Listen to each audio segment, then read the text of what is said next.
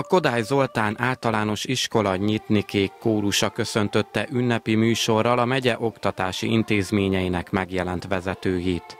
Szerdán délután érkezett Nyíregyházára az Oktatási Hivatal, a Belügyminisztérium és a Klebelsberg Központ közös szakmai tanévnyitó rendezvénye, amelyen az előző év tapasztalatairól és az új tanév aktuális feladatairól tájékoztatták a jelenlévőket alapvetően rendezetten, szervezetten zajlott az egész tanév az egész országban, és a nagyon jó ír, hogy a, hogy a vizsgák eredményei azt mutatják, hogy a tanulók széles köre az jó eredménnyel, kimondottan jobb eredménnyel zárta átlagban a tanévet, mint a megelőző években, ami a sikeres felkészülés meg a felkészítésnek azért a bizonyítéka.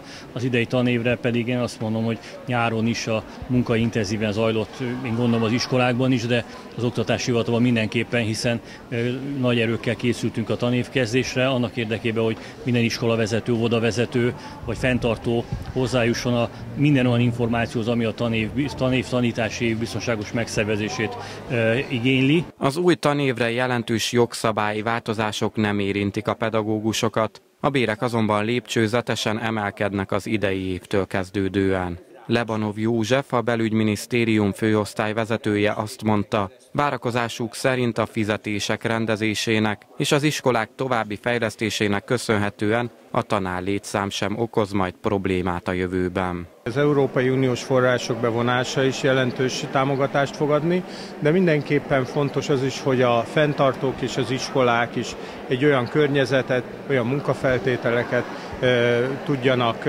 biztosítani, amely a fiatalok számára vonzó. Abban bízunk, hogy az idei tanév is gördülékenyen fog elindulni ebből a szempontból. Bár az iskolák már évek óta nem önkormányzati fenntartásban működnek, Nyíregyháza városvezetése minden intézmény fejlesztési igényét segíti a pályázatokon keresztül. Úrich Attila, a megyeszékhely alpolgármestere elmondta, szeretnék folytatni az iskolák korszerűsítését, ez ugyanis fontos feltétele a színvonalas oktatásnak. Ha visszanézem a történéseket, akkor minket igazolt az, hogy energetikailag újítottuk meg ezeket az épületeket. Az oktatás pedig nyilvánvalóan az egy központi kérdéskör legyen, szerintem nem csak minden városnak, hanem minden nemzetnek is, hiszen ahogy régen megfogalmazták, jóval előttem a kiművelt emberfők azért kellenek, és nem csak a kiművelt emberfők, hanem a jó szakemberek is kellenek a Nyíregyházának és Magyarországnak.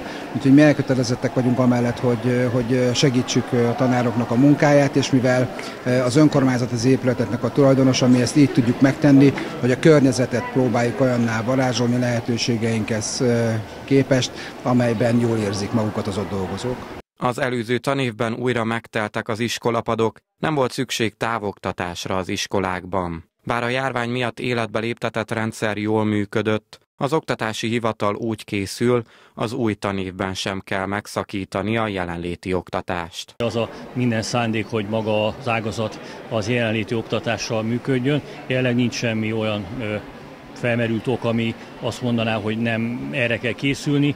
Ugye a most, most záródó tanév, tehát kvázi az előző tanév is jellemzően így zajlott, és jól látjuk azt, hogy szerencsére az ótakozásnak, meg az állampolgárok felelős magatartásának köszönhetően azért a tanév Magyarországon sikeresen le tudott zajlani, nem úgy, mint sajnos néhány más országban. A konferencián elhangzott a hatodikos, nyolcadikos és tizedikes diákok idén már nem csak szövegértésből és matematikából, hanem természettudományi ismeretekből is kompetenciamérőt írnak.